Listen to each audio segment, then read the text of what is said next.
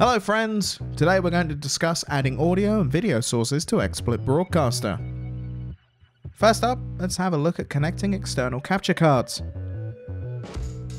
Click on the Sources menu, then select Devices, then Video, and finally click on the capture card you have connected, which should be shown in this menu. If you have a console connected to your capture card, and depending on what type of capture card you have, you'll see the video from your console appear in XSplit Broadcaster you can now arrange, resize, and reposition to your heart's content.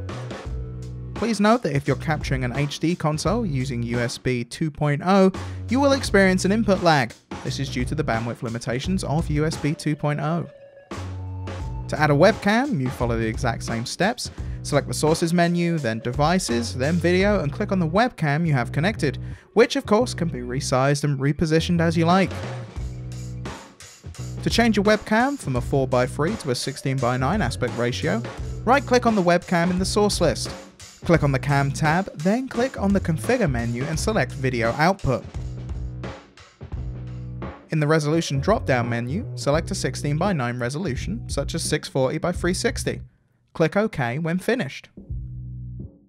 Finally, let's talk setting up audio sources.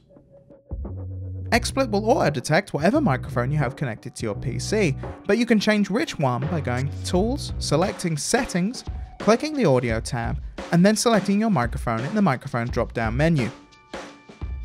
System sounds capture what sounds your PC makes, such as gameplay audio.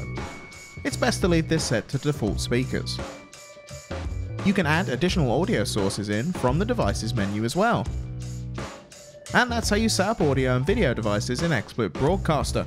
For more information, check out xsplit.com and be sure to follow us on social media.